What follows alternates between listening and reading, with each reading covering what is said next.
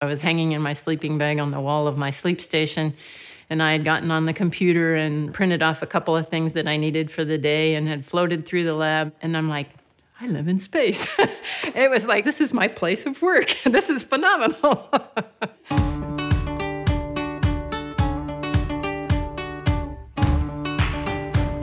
I was nine years old when the first guys walked on the moon and our folks put us to bed relatively early, but woke us back up so that we could watch that.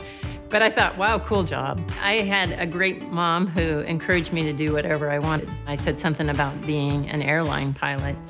And my sister said, You can't be an airline pilot. You can only be the flight attendant. My mom said, No, that's not true. You can be whatever you want. it wasn't until I graduated high school in 1978 when they selected the first female astronauts that I think becoming an astronaut really became a goal of mine.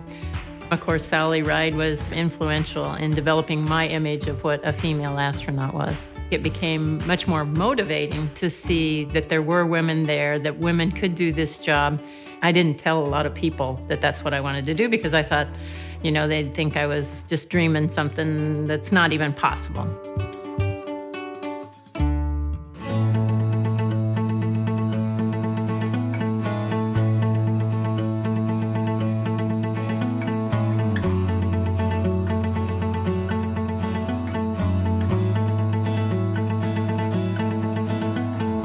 Bob Cabana, who was chief of the astronaut office at the time, called me. And so I was expecting rejection, and he's trying to make small talk with me. And I'm like, I don't have time for this.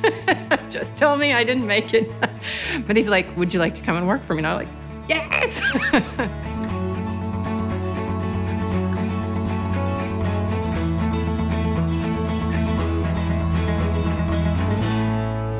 new residents headed for the International Space Station, Commander Valery Korzun and flight engineers Peggy Whitson and Sergei Treschev.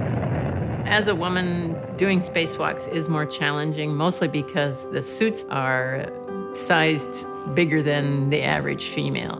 And yes, it is risky. You're going 17,500 miles an hour around the Earth. Some people have a sense that they're actually falling off of the station.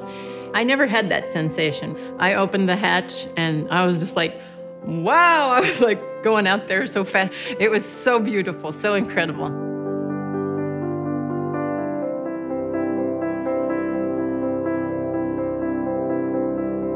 I was commander of the station, and then the second female shuttle commander actually arrived to the station, Pam Melroy. So we had the first two female commanders on orbit at the same time.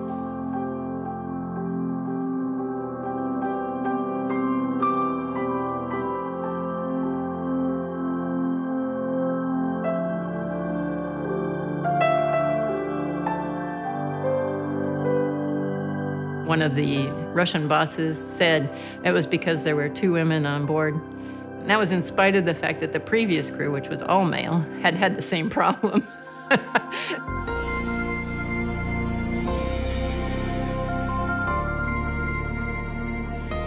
I've been on three selection boards now.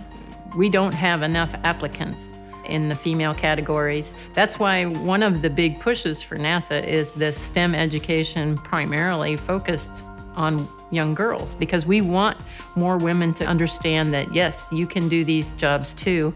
You just have to get the right education and training so that you can apply and make it happen.